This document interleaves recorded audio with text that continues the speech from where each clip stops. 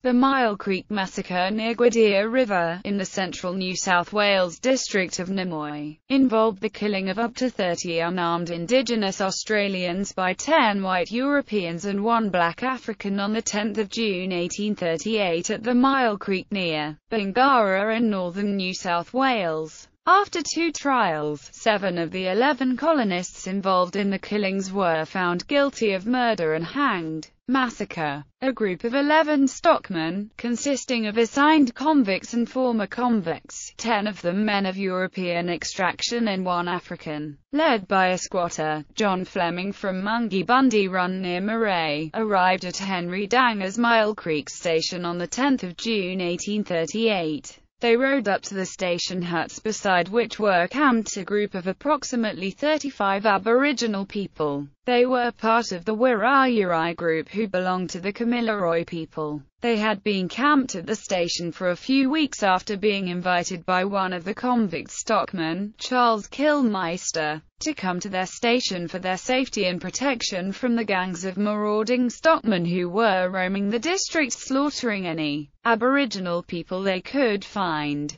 These Aboriginal people had previously been camped peacefully at McIntyre's station for a few months. They were therefore well known to the whites. Most of them had been given European names such as Daddy, King Sandy, Joey, Martha and Charlie. Some of the children spoke a certain amount of English. When the stockmen rode into their camp, they fled into the convict's hut pleading for protection. When asked by the station hut keeper, George Anderson, what they were going to do with the Aboriginal people, John Russell said they were going to take them over the back of the range and frighten them. The stockmen then entered the hut, tied them to a long tether rope and led them away. They took them to a gully on the side of the ridge about 800 meters to the west of the station huts. There they slaughtered them all except for one woman who they kept with them for the next couple of days. The approximately 28 people they murdered were largely women, children and old men. Ten younger men were away on a neighboring station cutting bark. Most of the people were slaughtered with swords as George Anderson, who refused to join the massacre, clearly heard there were just two shots.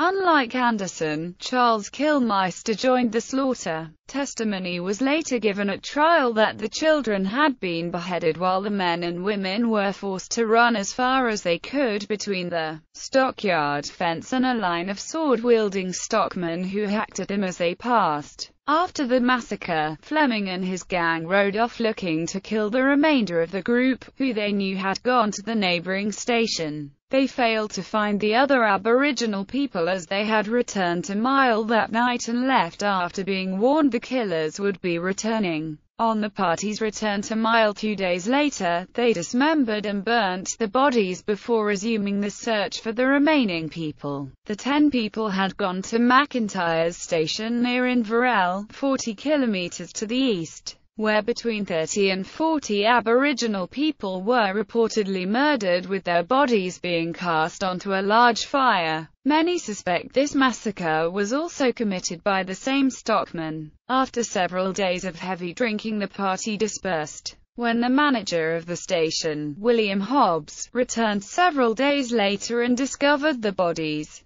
Counting up to 28 of them he decided to report the incident but Kilmister initially talked him out of it. Hobbs discussed it with a neighboring station overseer, Thomas Foster, who told squatter Frederick Foot who rode to Sydney to report it to the new governor, George Gipps. Supported by the Attorney General, John Plunkett, Gipps ordered Police Magistrate Edward Denny Day at Muswellbrook to investigate the massacre. They carried out a thorough investigation, despite the bodies having been removed from the massacre site where only a few bone fragments remained. He arrested 11 of the 12 perpetrators. The only one to escape was the only free man involved, the leader, John Fleming. Anderson was crucial in identifying the arrested men. He had initially refused to name the men involved but after finding out that the massacre had been planned more than a week earlier to coincide with the absence of Hobbs he agreed to identify the killers to the magistrate. Trials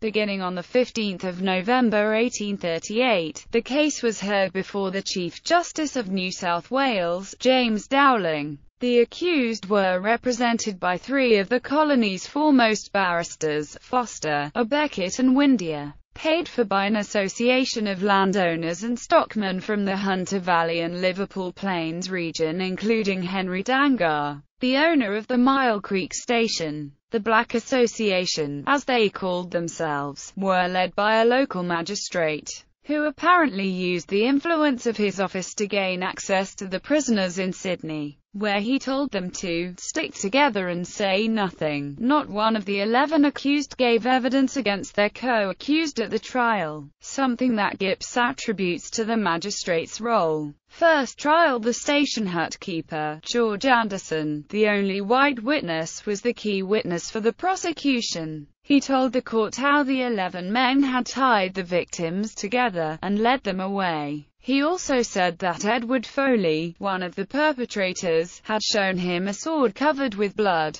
Anderson's testimony was supported by William Hobbs and Magistrate Day, who had conducted the police investigation. The defense's case solely rested on the argument that the bodies could not be identified accurately. Justice Dowling took care to remind the jury that the law made no distinction between the murder of an Aboriginal person and the murder of a European person. The jury, after deliberating for just 20 minutes, found all 11 men not guilty. One of the jurors was alleged in a letter to the editor of The Australian on 8 December 1838 to have said privately that although he considered the men guilty of murder, he could not convict a white man of killing an aboriginal person. I look on the blacks as a set of monkeys and the sooner they are exterminated from the face of the earth the better. I knew the men were guilty of murder but I would never see a white man hanged for killing a black. The letter writer who had reported this outrage went on to say, I leave you, sir, and the community to determine on the fitness of this white savage to perform the office of a juryman under any circumstance. Second trial. Attorney General Plunkett, however, requested the judge to remand the prisoners in custody awaiting further charges from the same incident. Although all 11 were remanded in custody only seven were to face a second trial. The second trial was held on the 27th of November, but only 28 of the 48 called up for jury service turned up. It later came to light that the Black Association had intimidated many into staying away. The trial restarted on the 29th of November under a different judge. Anderson, who had been a key witness at the first trial, gave an even more lucid account of the massacre at the second trial. He told the court that, while Master was away, some men came on a Saturday, about 10, I cannot say how many days after Master left they came on horseback armed with muskets and swords and pistols. All were armed. The blacks, when they saw the men coming, ran into our hut, and the men, then, all of them, got off their horses. I asked what they were going to do with the blacks, and Russell said, we are going to take them over the back of the range. To frighten them, Anderson then gave evidence that the Aboriginal people in the hut had cried out to him for assistance.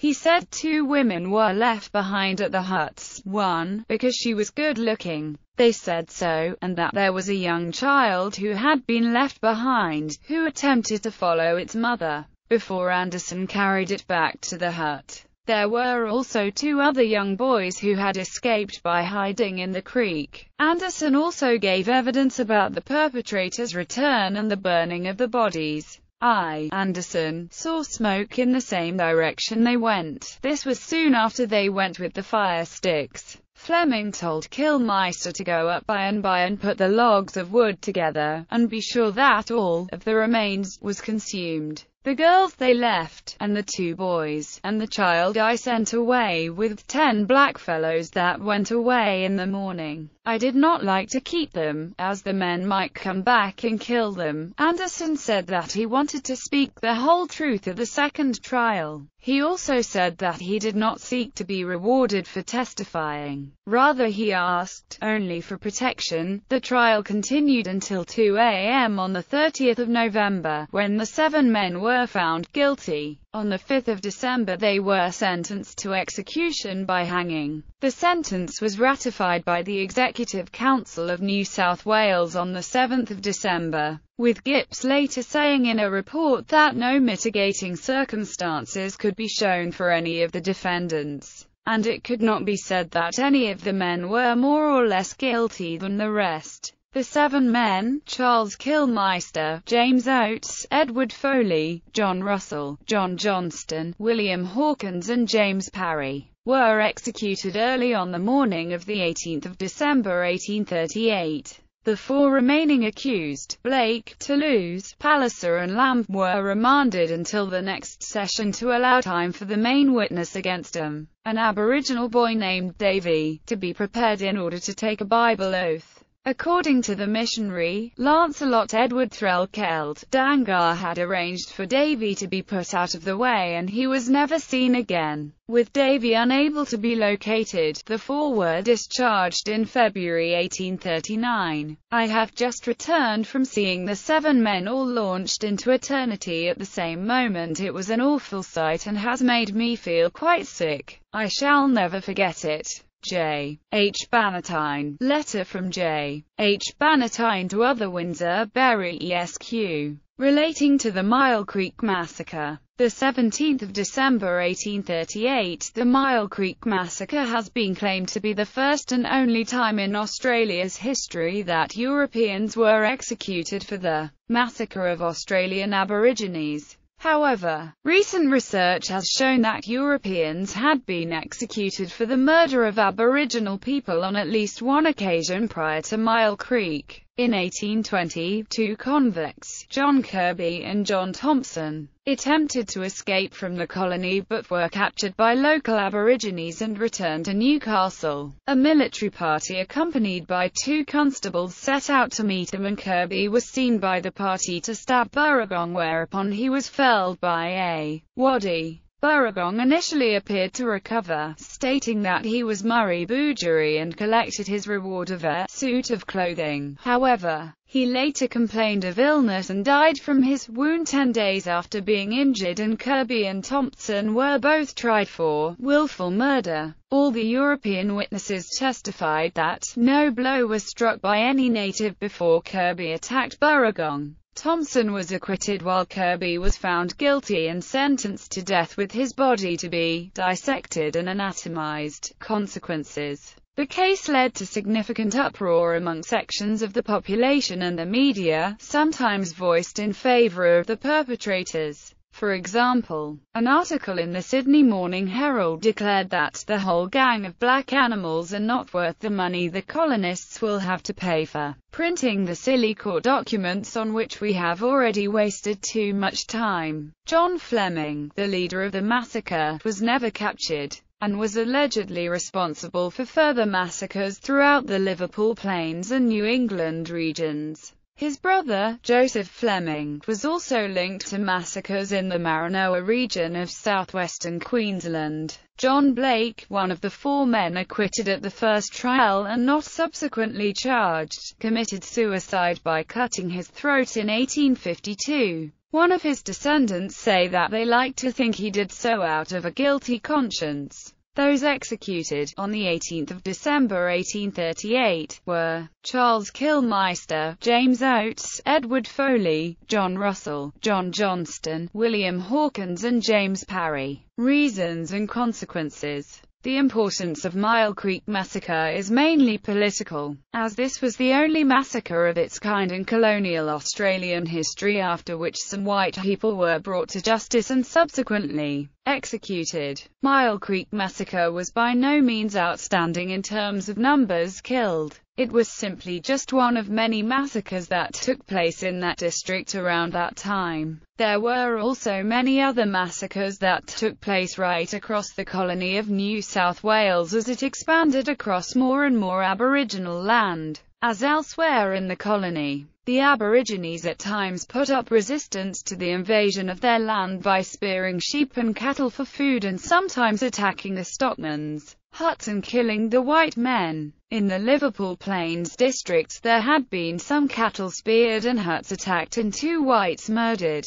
The squatters complained to the acting governor Snodgrass who sent Major James Nunn and about 22 troopers up to the district. Nunn enlisted the assistance of up to 25 local stockmen and together they rode around the district rounding up and slaughtering any aborigines they came across. Nunn's campaign culminated in the Australia Day Massacre of 1838 at Waterloo Creek. As there are no definitive historical records available it is impossible to accurately determine the exact number of Aborigines who were slaughtered there, but estimates range from 40 to over 100. When Nunn returned to Sydney, many of the local squatters and stockmen continued the drive against the Aborigines. The perpetrators of the Myall Creek Massacre were some who continued that relentless slaughter. The Aborigines killed at Myall Creek were not involved in any of the spearing of cattle or the attacks on stockmen's huts that were occurring elsewhere as they had been living peacefully on McIntyre's and Wiseman's stations for many months prior to moving to Myall Creek. They simply got caught up with the colonists' desires to drive them off their land so they could continue with the expansion of the colony. In his book, Blood on the Wattle, journalist Bruce Elder says that the successful prosecutions resulted in pacts of silence becoming a common practice to avoid sufficient evidence becoming available for future prosecutions.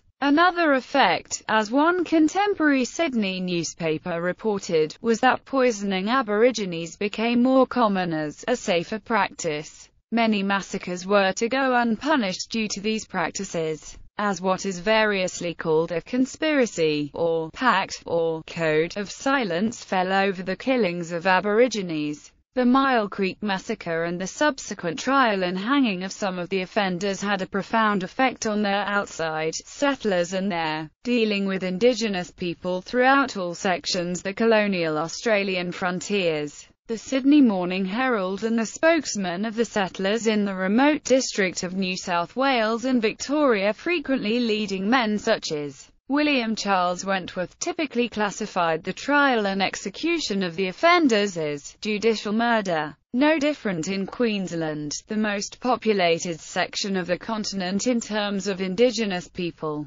Thus it was the subject of numerous statements in the then newly separated parliament in 1861 during which there were almost unanimous agreement that the prosecution and hanging in 1838 had been nothing less than judicial murder of white men in Sydney. As the government spokesman Robert Ramsay McKenzie phrased it in his speech in the Legislative Assembly on 25 July 1861, and that white troopers were useless, as there could not be acting against the blackfellows as they wished, lest an outcry should be raised against them, and they could be prosecuted for murder. Arthur Macalister, spokesman for the opposition agreed, equally using the term judicial murder, the notion seemingly almost unanimously agreed to by the first Queensland Parliament was that no white man should ever be prosecuted in Queensland for the killing of a black. The alleged judicial murder of the white offenders behind the Myall Creek massacre thus prepared the ground for the policy towards Indigenous people in Queensland the ancestral home of the single largest Aboriginal population in Australia. Thus, it is that there are today significant evidence to say that numerous massacres many times larger than Myall Creek took place further north in the later colony of Queensland in decades following the Myall Creek Massacre. Memorial. A ceremony is held each year on the 10th of June commemorating the victims.